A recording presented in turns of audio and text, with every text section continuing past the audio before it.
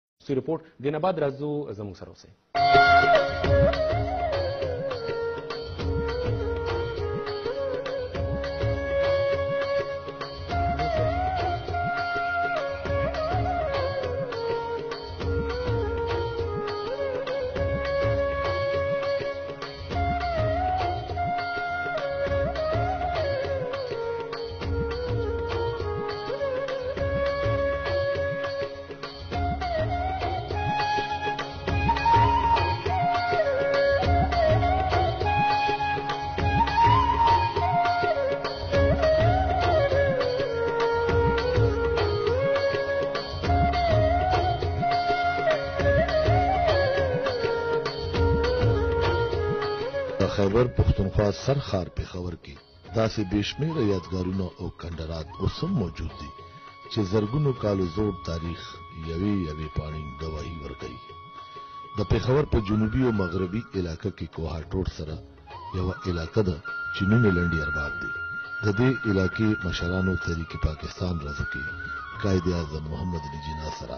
څنګ په څنګ ولاړو دغه مشرانو کې یو مشر خدای بخښلی ارباب میر محمد خان هم و.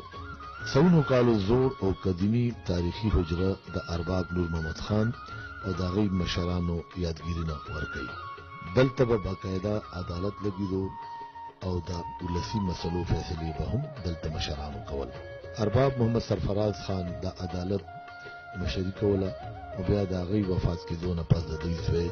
ارباب محمد حسین خان په څوکۍ کیناستو. د بیا پاکستان جوړېدو پورې ارباب محمد اکرم خان د عدالت مشر و لنډي ارباب سره جوخت علاقه کوټ له محسن خان هم یو تاریخي حیثیت لري دلته یو تاریخي کلا و چې اوس یې خالي دروازه پاتې ده کال 1900 وسلويخ کې دلته یو کله د مغل جرنیل ارباب مستجاب خان جوړه کړه او د دې کلي مرکزي دروازې د پاسه حفاظتي څوکۍ هم جوړه کړه دا څوکۍ دومره اوچتې وي چې دلته نه محافظانو په لرې لرې علاقو باندې نظر ساتل کال اتلس سوه درویشتم کې چې سیکانو کله په پېښور حمله وکړه نو دغه کلې مرکزي دروازه هم ویې سوځوله روستو د باړې مومن نواب عبدالکریم د دې دروازې مرمت وکړو او په خپل اصل شکل کې راوستو نواب عبدالکریم اولاد اوس هم دلته آباد دی د مغلو په دور کې چې کله خوشحال خان خټک گرفتار کړی شو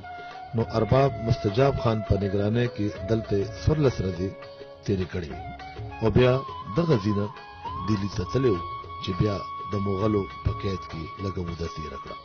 خو بازو کتابونو کې دا ویل کیږي چې کله خوشحال خان خټک ګرفتار کړی شو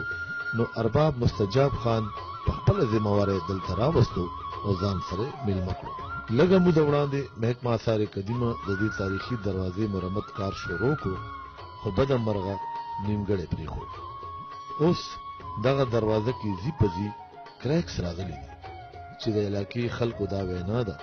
چې دا تاریخي دروازه هر کله پریوتې شي چې ذمہوار وي د ارکایز وکمندان کوټ لمبو حسین خان دا تاریخي دروازه سلورین سو کاله زړه دروازه ده د دروازې د مغلو او د سکانو دور هم کتل دي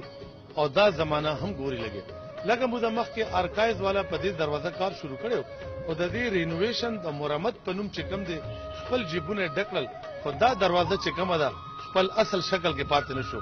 اوس دې دروازه کې زې په زې کریکس راغلي دي او کدی ته چا پام ورنه کونه لګه مو د پس د دې دروازې نوم او نخ هم پاتې نشي او چې کم قومونه د خپل ورثه حفاظت نه کوي نو هغه په پوره نړۍ کې خپل شناخت نه لري کیمرا مین بصیر اقبال سره حسن علی شاه لنډی ارباب کوټله محسن خان خیبر نیوز